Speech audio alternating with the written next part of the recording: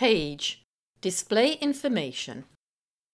Although it's very easy to upload your course materials such as word process documents to Moodle, it's sometimes better to add them directly into Moodle in, for instance, a book or a page.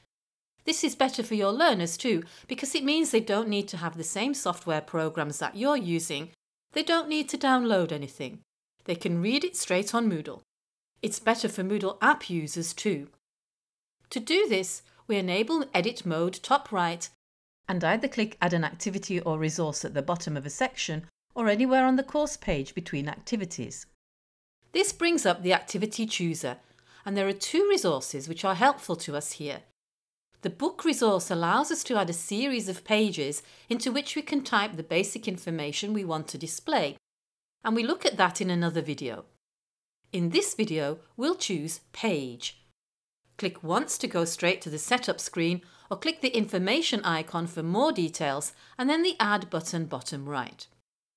Name is where we type the title the learners will see on the course page and then the description and if we want to show it on the page, check the box.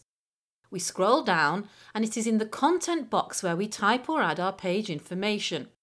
If you only have simple text to add to your course, this is much quicker and better than typing it into a word processing program and uploading it. And you can also add images, video and sound files onto a page. There are various other settings you might like to explore in your own time. For instance, appearance.